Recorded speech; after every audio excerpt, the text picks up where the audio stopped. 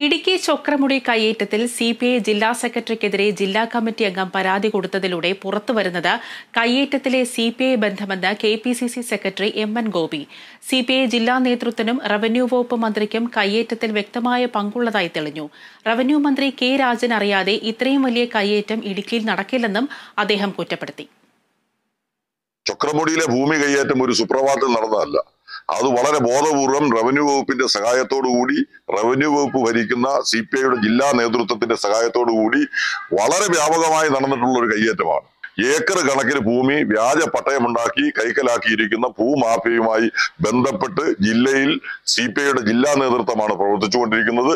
ഒരു മന്ത്രിക്കും റവന്യൂ വകുപ്പിനും ബന്ധമില്ലാതെ ഇത്രയും ഭൂമി ഒരു വ്യക്തിക്കും കൈയേറാൻ കഴിയില്ല. രേഖകൾ ഉണ്ടാക്കാൻ കഴിയില്ല. അതുകൊണ്ട് വ്യക്തമായും റവന്യൂ വകുപ്പിന്റെ നിയന്ത്രണത്തിലാണ് ഈ ഭൂമി കൈയേറ്റം നടക്കുന്നതെന്ന് നമുക്ക് പറയാൻ കഴിയും.